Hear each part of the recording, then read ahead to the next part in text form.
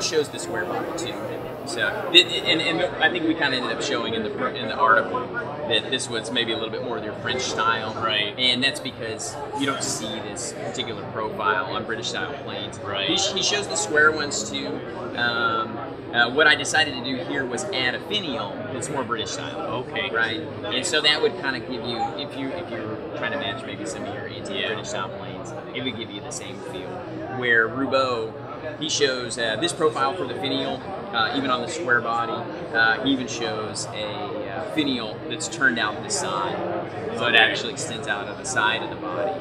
Um, he probably put the profile more on some of his tools that would be heavy users, like your uh, rebate planes, the tongue and groove.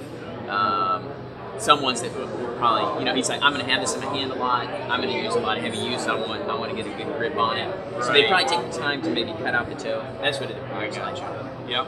Where some of these other ones, um, maybe it would be a custom profile. They might only use on a particular set of what you know production run, They're a small run of Right. it, and then they might decide I'm not going to take the time to cut out the profile.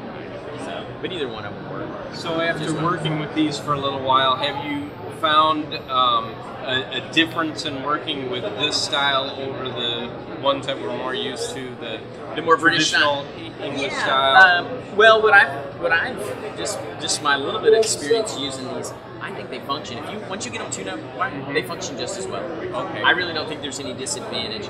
Though, whenever you looked at it from the perspective of producing a lot of tools, this is going to use more wood oh, because you have you have to have more you have to mass more. Okay, to offset the stresses that this induces whenever you wedge it. So you think from the perspective of um, producing a lot of planes, like first of all, in England they had more of an established um, uh, a woodworking where, where they had professional plane makers, where the continental makers they were more accustomed apparently to having to make their own plane if they needed it. Right. So so that's why they approached it with the simple tools.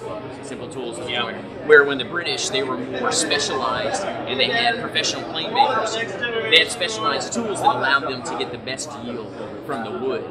Uh, materials were more valuable than labor in a lot of ways. Right. Yeah. So one of the things, if you notice on the British style, they had a rebate cut here, right, and then the grip was over here.